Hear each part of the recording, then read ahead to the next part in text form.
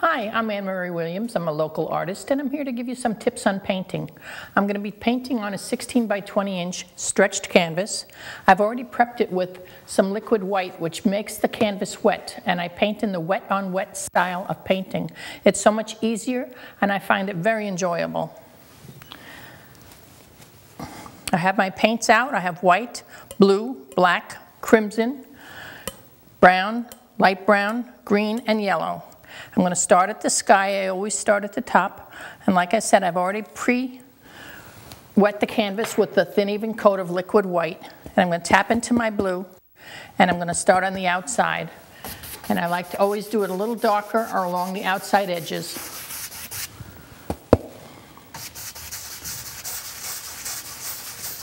This is so much fun to paint. It's a really nice hobby. If you have time to do it, try painting anytime you have some free time. I want to make it a little lighter in the center so I can just see the sun coming up over the center of the hills. But right now we're just going to put a nice smooth sky in here, maybe just a few little clouds, not much. Working around the center, and as I go in, it's going to get a little lighter. And I want to mix a little bit of a crimson and blue together and make a very pale lavender. So I mix that together, a little bit of white. Just the pink is a really pretty touch to it. There we go, we got a nice lavender. Blue and pink make purple. So we add a little white and we've got lavender. So the sky's gonna be a little lighter in the center here. I like to do little X's. It fills it in nice and easy. A little softer, yep.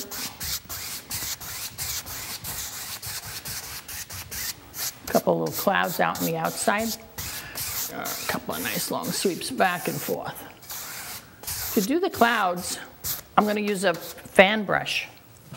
The fan brush, I just take the corner and take a little bit of white on the corner, and then I flip it over and do the other corner. The reason I do that is that way I don't have to go back to my palette as often. And up in here is a little bit of a cloud.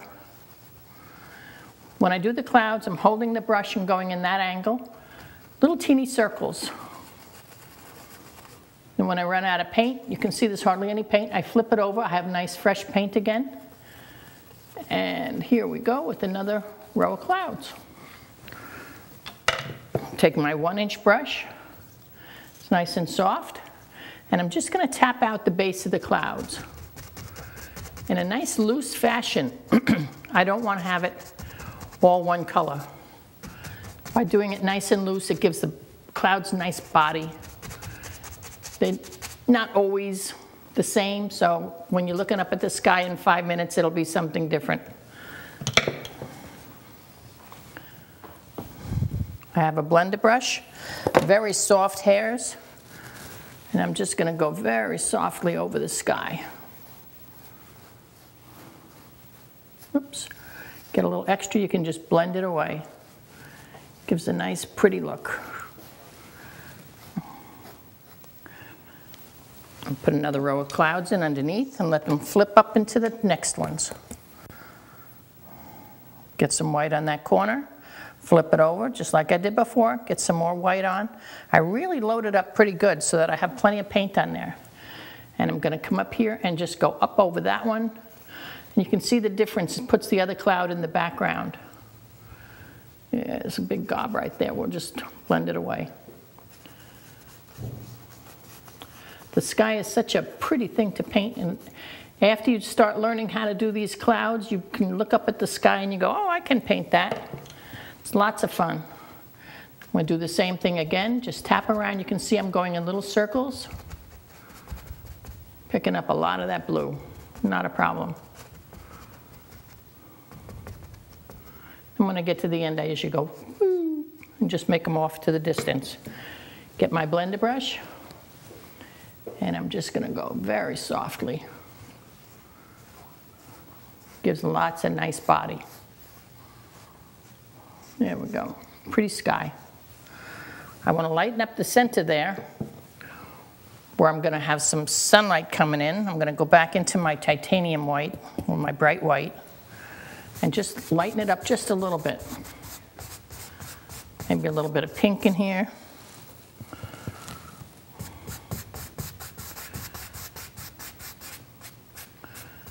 The next segment, I'm gonna put some trees in and a waterfall.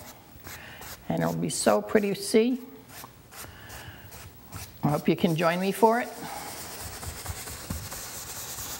Got to clean up the bottom just a little bit so that we have a nice straight horizon line.